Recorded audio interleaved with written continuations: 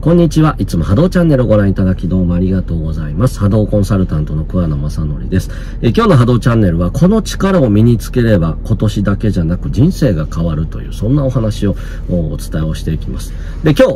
2023年の1月4日ですけれども、今日から仕事始めの方もたくさんいらっしゃると思うんですよね。で、えー、新年ですから、新規一点、えー、今年はこんなことしようと、いろいろ思われている方もいらっしゃると思います。で、えー、今日お伝えするのを、する力っていうのが、それらを実現したりとか、これからの人生より良くするために非常に、えー、大切な力になってくるので、ぜひ参考にしていただければと思います。ちなみに僕はビジネスアカデミーをやってますが、ビジネスアカデミー、ビジネスの世界でも今日お伝えする力っていうのはめちゃくちゃ大事です。で、そのことはアカデミーで結構口酸っぱく言ってる、そんな力でもありますので、えー、ぜひ、ちょっとずつ意識して、えー、身につけていただくといいんじゃないかなと思います。ぜひ参考にしてみてください。で、えー、今日はあドライブしながらのトークになりますので、ちょっと話まとまりないかもしれないですけれども、そこはドライブ一緒に、えー、しながら話聞いてるみたいな感じで受け取っていただくといいかなと思います。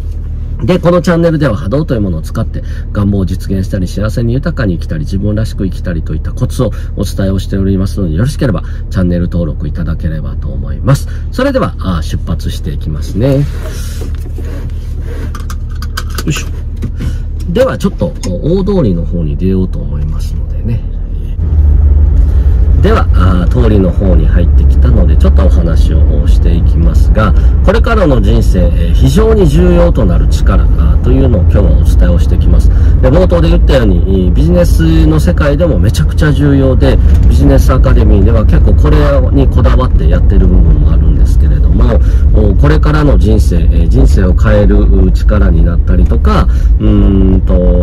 ビジネスの現場でも非常に鍵になるものであったりとか、あと、コミュニケーションでも非常に大事になってくる力なんですよね。それが何かというと、ズバリ言うとですね、言葉です。言葉を操る力ですよね。言葉を操る力あなんです。で、これがですね、えー、結構多くの人、今衰えてるんですよね。で、言葉ってめちゃくちゃ大事で、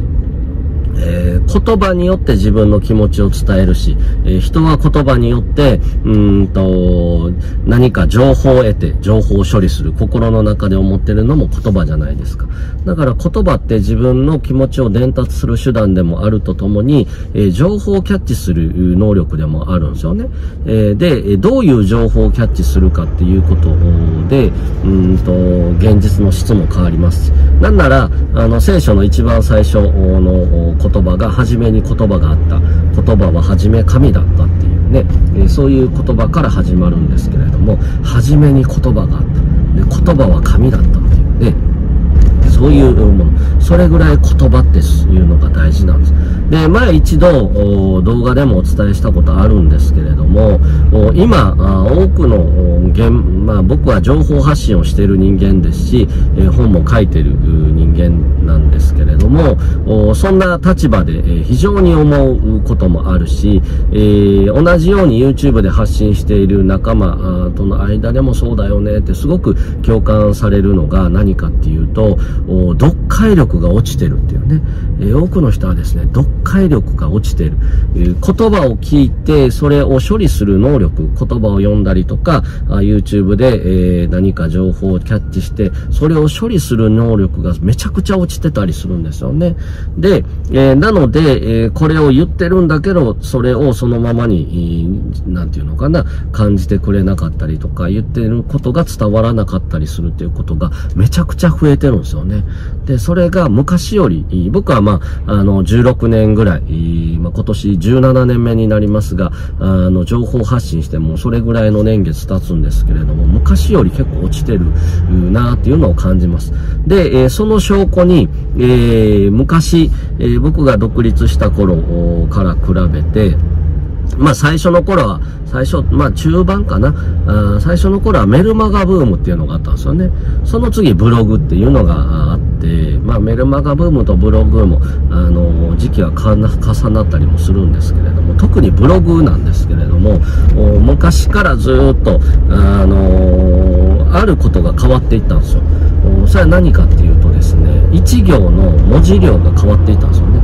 ある時からすごく開業して開業しても1行目と2行目の間をすごくスペースを空けて見やすくっていうのがあのすごく求められるようになっていた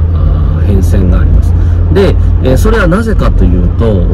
僕たち多くの人の言葉の情報処理量が落ちてたからなんですよね、えー、だから1行短く。で、えー、間隔を空けないといきなりたくさんの情報があっても見れなくなってるっていう。ね、えー、なので、えー、1行の文字を少なくそして、えー、たくさん開業するっていう文章のスタイルがある時からされるようになっていたそれぐらい情報処理能力っていうのが落ちちゃってるんですよね。で、それはブログでもそうですし、えー、本もそうです。今、あのね、昔の本とか見るともう文字がぎっしりなんですけれども、今の本で結構あるのが、本当、1行が短く、で、すごく、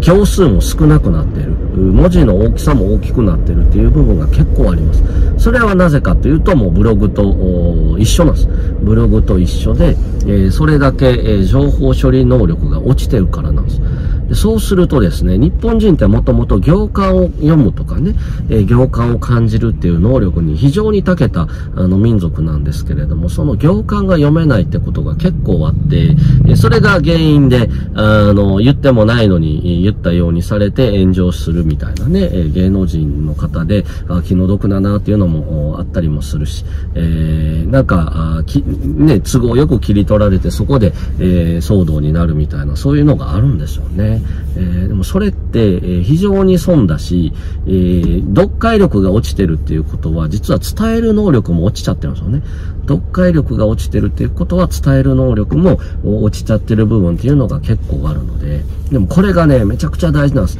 ビジネスの世界で、えビジネスでも言葉の力が大事だっていうことを僕はいつも言ってるんですけれども、例えば、あ自分がどういう人間なのか、あっていうことを伝えられないと商売ってうまくいかないし、自分のサービスっていうのがどんなものなのか、どういう人にどんなあ効果があるのかっていうことを伝えられないと、そもそも売れないですし、え、そのサービスを受けることで、え多くの人がどうなってどう変わっていくのかとか、あと自分のサービスっていうのはどういう特徴があって、他とはどう違うのか、すべて言葉なんです。すべて言葉なので、その言葉を正確にはもちろんですけれども、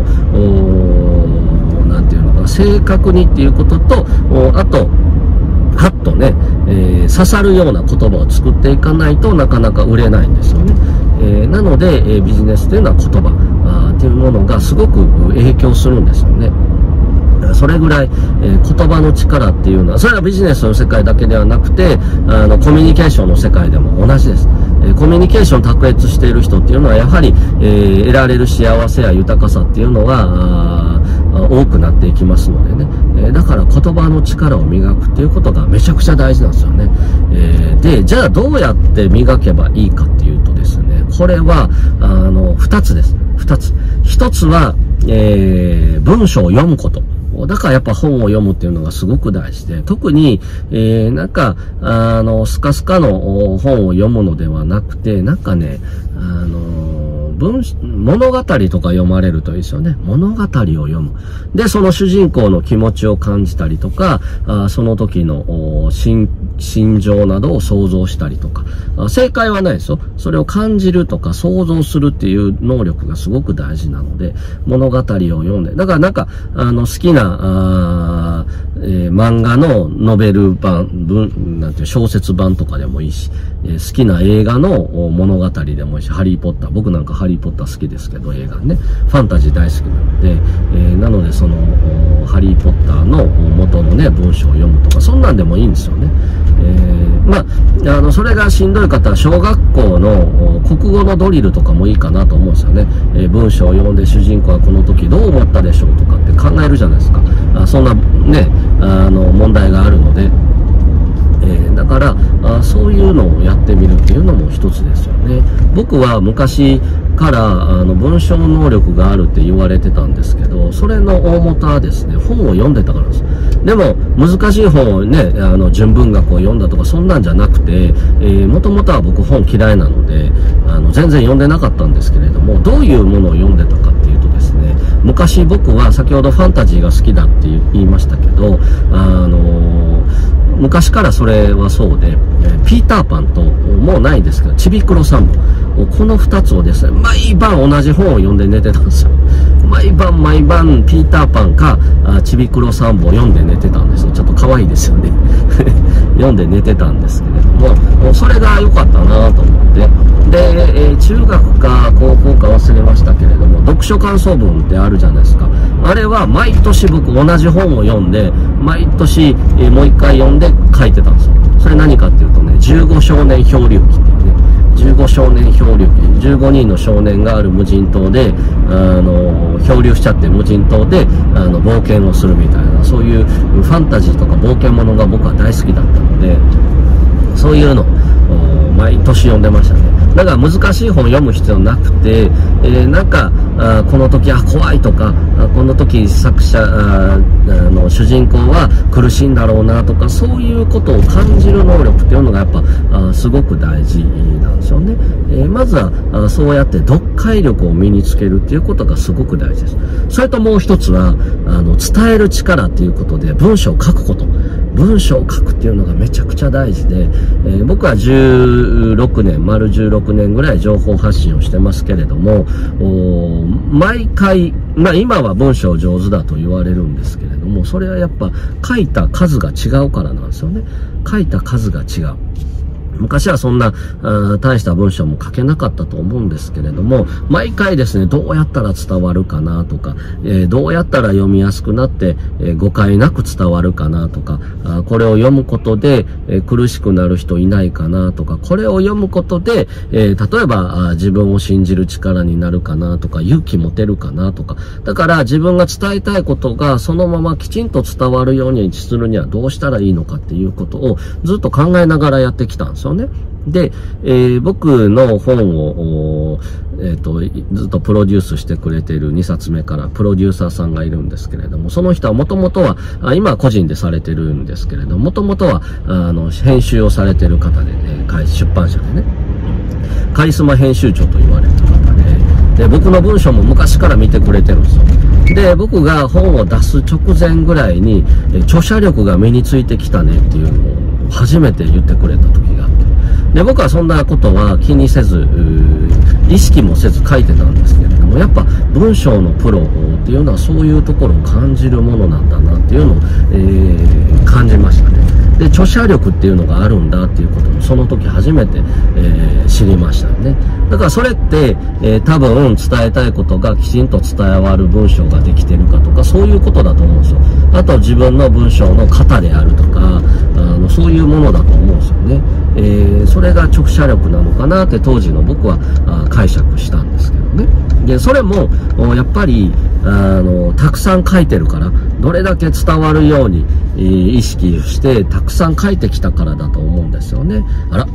っと後ろに救急車が来ちゃいましたね。ここでちょっと待機。音入っちゃいますけど、ちょっと我慢してくださいね。音が入っちゃうんですけど。はい。そうそう。それがやっぱ大事。だから書くこと。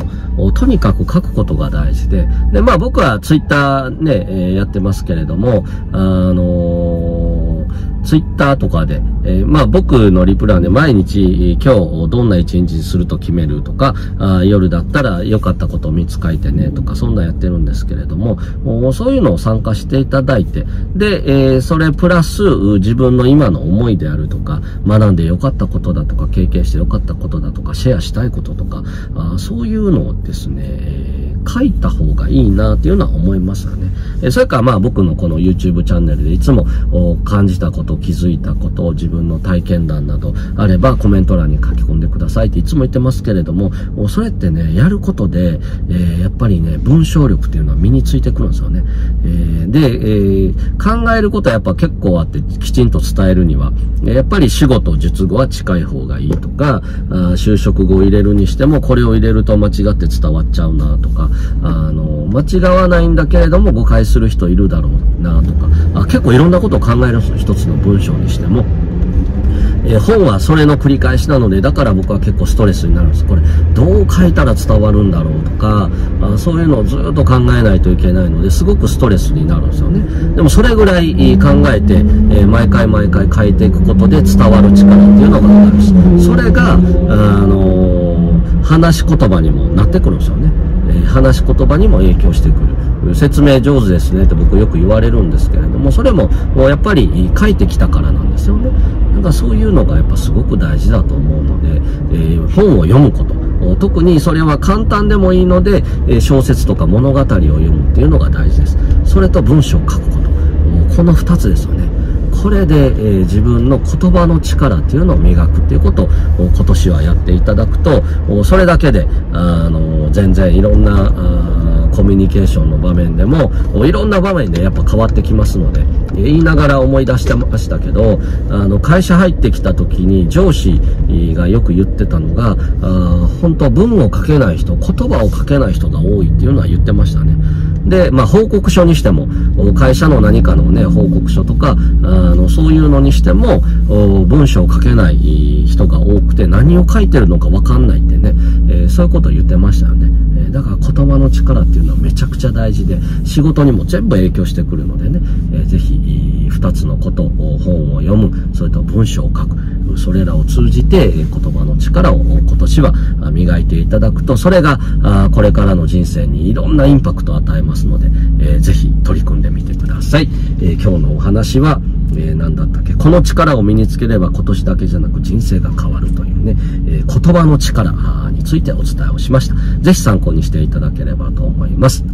で、え LINE とメルマガではウィークで毎日メッセージをお送りしてます。願望実現のお話や波動のお話やメンタルのお話、そんなメッセージをお伝えをしておりますので、よろしければ、LINE もしくはメルマガ、どちらでもいいのでご登録いただければと思います。え登録先は概要欄に貼り付けておりますので、概要欄をチェックして、えご登録ください。えそして、え今日のこの話で感じたこと、気づいたことですよね。それとご自身の体験談などあれば、ぜひコメント欄に、えシェアいただければと思います。そして今日のこの話が良かったなと思われる方はチャンネル登録といいね、高評価ボタンを押していただければと思いますし、お友達で必要としている方がいればぜひお友達にもシェアをしてあげてください。それでは、本日の波動チャンネル以上になります。えー、今日はおまけのお話なしで終了させていただきますので、えー、これにて、え終了させていただきます。いつも波動チャンネルご覧いただきどうもありがとうございます。それでは、いつもありがとうございます。失礼します。